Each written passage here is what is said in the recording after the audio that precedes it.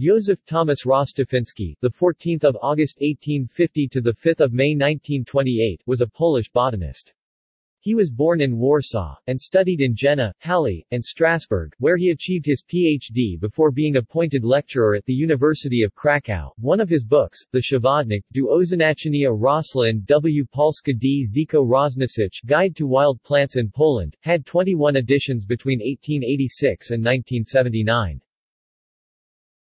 In one of his notable works, Józef Rostafiński did extensive research about an area called the Polesie where he states that the Polesie area which is located in eastern Poland, lacked certain type of trees due to the soil and ground.